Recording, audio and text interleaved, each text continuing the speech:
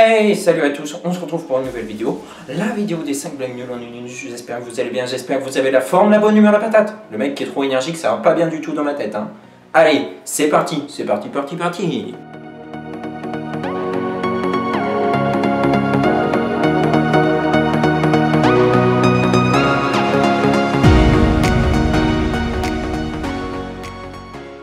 Il vraiment là, hein.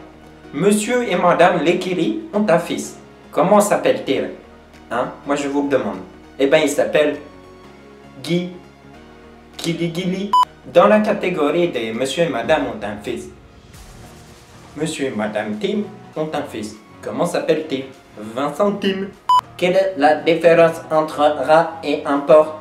Aucun rapport. Pourquoi ta mère travaille au bowling? Parce que elle aime toucher des grosses boules.